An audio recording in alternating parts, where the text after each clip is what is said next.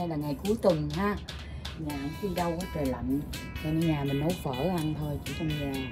Hai vợ chồng làm món phở gà. Rồi à, buồn quá biết làm gì nấu phở gà ăn chơi thôi.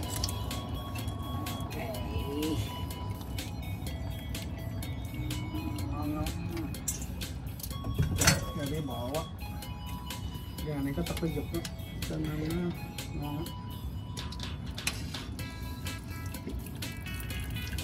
Seahawks mới thắng uh, game rồi. Cho nên mình bây giờ ăn mừng hả? Ăn mừng. Với lại ngoài trời người ta đốt pháo có chừng đốt pháo vậy. Thôi để mấy cái đầu này trong này đi. Ok. Bây giờ thì mình đi vô. Phở có uh, bỏ gì ra um, có củ hành gừng à, chút xíu tại vì tại vì phở gà nên mình không có muốn bỏ tại vì nhiều. Cái mùi nó hắc quá không có giống mùi phở gà của miền Nam. Đó, bây giờ vớt hai con gà ra. Nhiều quá cũng có hai vợ chồng thôi. Cũng biết làm gì. Nên bóp miếng gỏi gà với rau răm ăn với phở. Thì phở thì thịt gà không nó cũng ngán, quý vị. Nên nhà em sáng kiến là thôi làm với gỏi gà. Tại vì có hai chồng, hai đứa nhỏ nữa. Thời buổi này khó khăn ăn gà là rẻ nhất. Ok. Cái này là rau răm.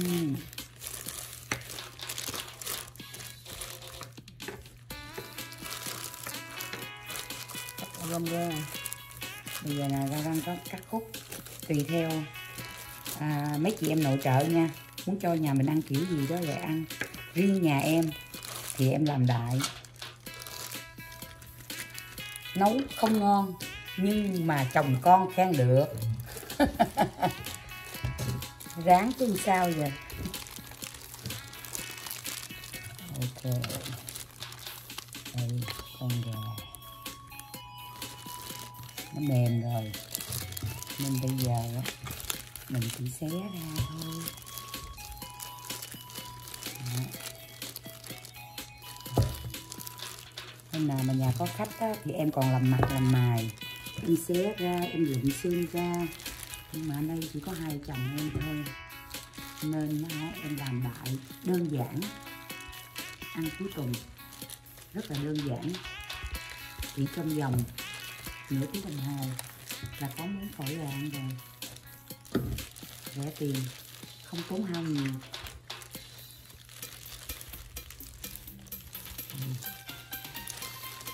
Cũng cũng quá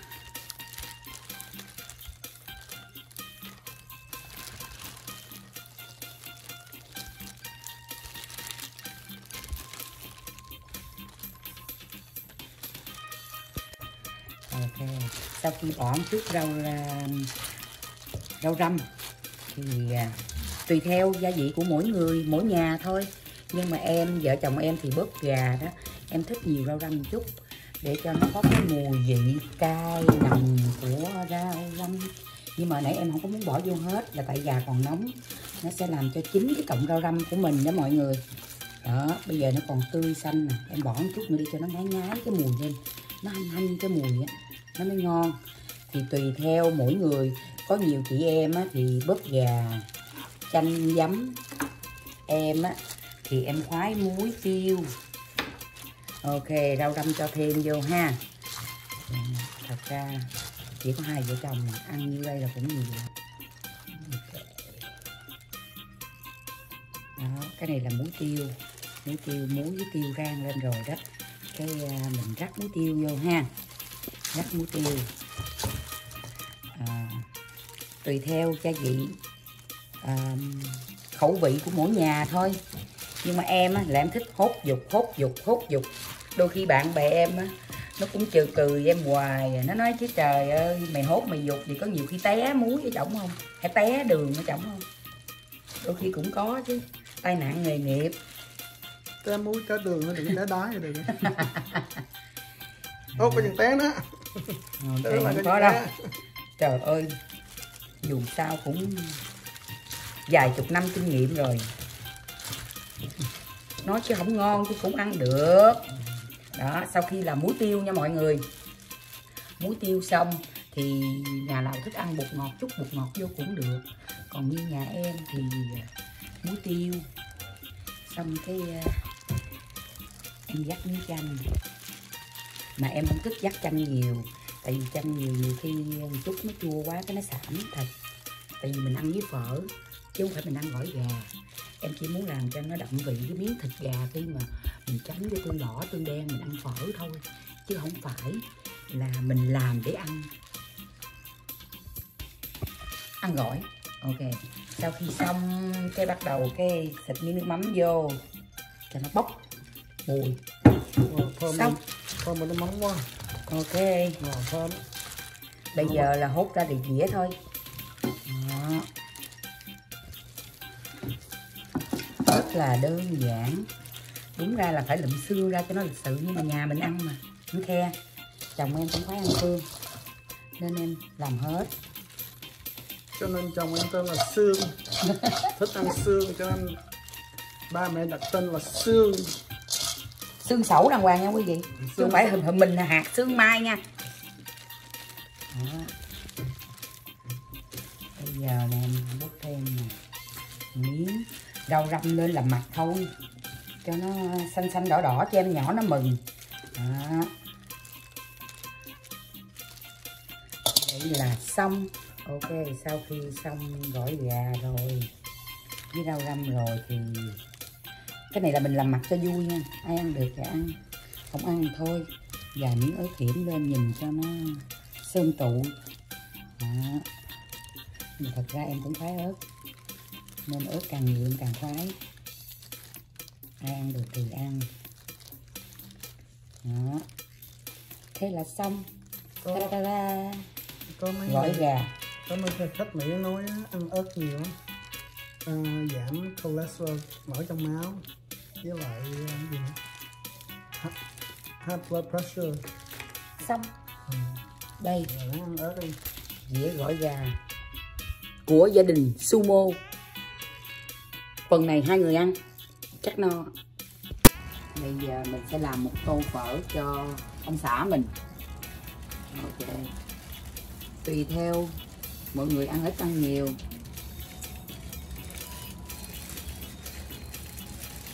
Rồi.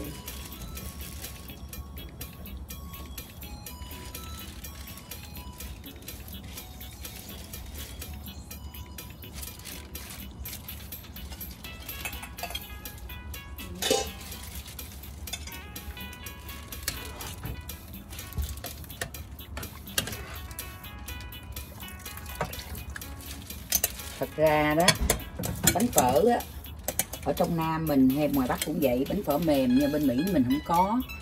Mà ăn bánh phở ờ, theo kiểu bánh hủ tiếu việt nam. Mà ông xã em thì người nam, ông cũng khoái ăn cái sợi hủ tiếu nó còn dai dai, chứ ông không thích mềm nhão như bánh phở. Nhưng mà đúng ra thì bánh phở là phải mềm, đúng theo hương vị bắc hay là ở sài gòn thì cũng bánh phở mềm. Nhưng mà riêng ông xã em request bánh phở dai dai một chút nên tùy theo mình trụng ha. Trụng cho nước yểu yểu thôi, chứ đừng có sôi bùng bùng bùng bùng bùng bùng như quả quạng đổ vô bánh xèo phở lên xèo. Rồi, xong.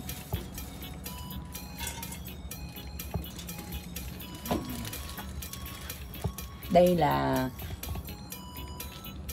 mình làm tô phở này cho chồng mình thôi, chứ thật ra mình ăn có nhiều dữ vậy. Nói vậy chứ đừng để nói trời sao con này nó ăn dữ vậy?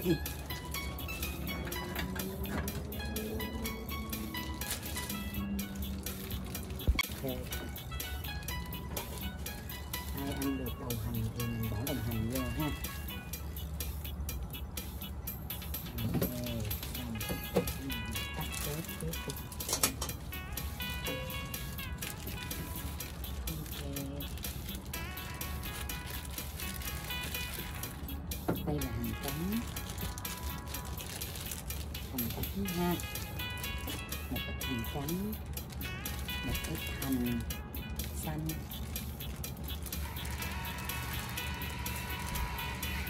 Và một ít ngà rí. Ok. Đây là thực phẩm nhà mình. Bây giờ mình sẽ nước thôi.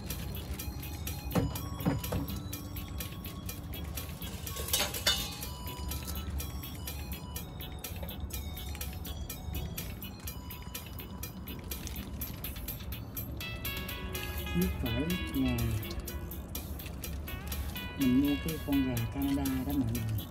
Cái à, cái mỡ của nó cũng vàng tùy theo vùng mấy người ở, là mọi người ở đâu. Đó là gà này, nhưng mà cái gà này, cái da nó, cái à, cái mỡ nó cũng vàng lắm. Nhìn cũng hấp dẫn lắm mọi người. Cũng thua gì gà Việt Nam cũng thơm lắm. Bây giờ mình cho một chút xíu tiêu lên nè, cho nó bốc mùi nè. Ở gà chút tiêu hay là cái bò cũng vậy. Tiêu nó dậy mùi đồ ăn. Ok, bây giờ mình thử nha. Thử cho mọi người.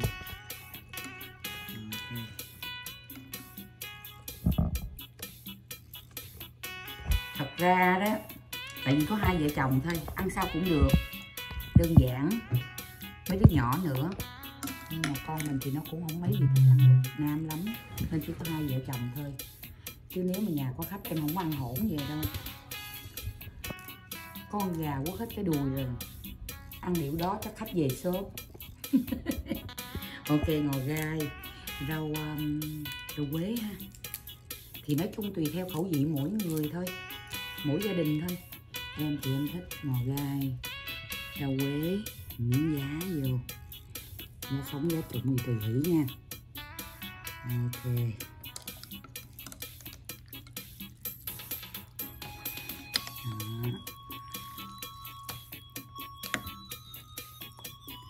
Miếng nước như này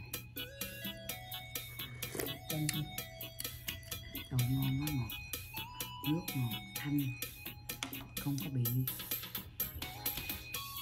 quá nặng mùi mỡ giống như là phở bò Phở gà thì nó đỡ chút Bắt miếng chanh ha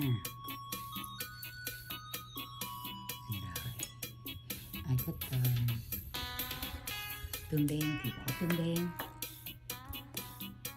Em em thích chấm gà với miếng tương chanh. Với miếng tương ớt nữa.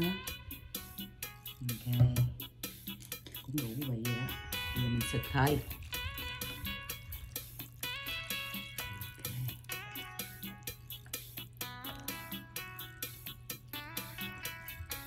Ok. miếng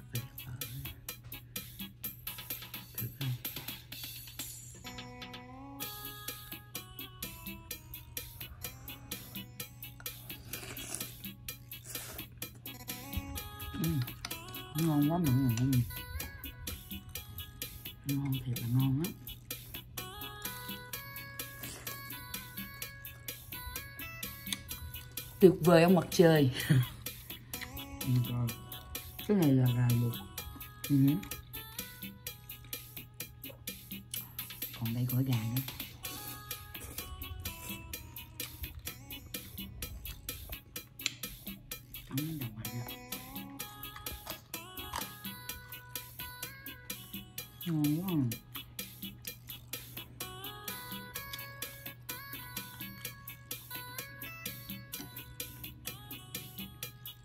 Rồi mà lần đặt như nào ăn phở gà quý vị, ngon hành tây, hành xanh, ngò cho thiệt nhiều vô.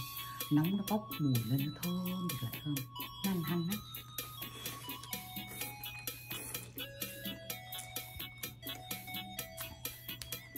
còn tiếp gì không cho em ngón tay cái lên? Bây giờ em thử cái gỏi ờ, gỏi gà gỏi gà của em đây em kẹp miếng rau răm vô. Ha. Em quết vô muối tiêu chanh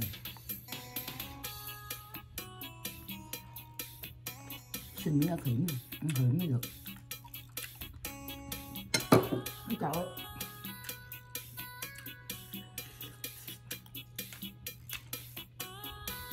Ngon quá. Tí xíu em nấu không nổi rồi cho em ăn miếng nữa thì em, em phân tích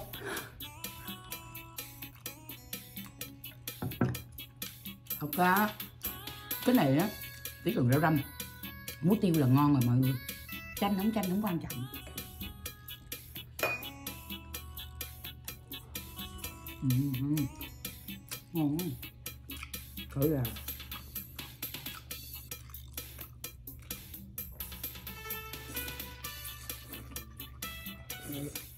Rồi chắc xong rồi cho anh quay phim ăn được rồi anh ok.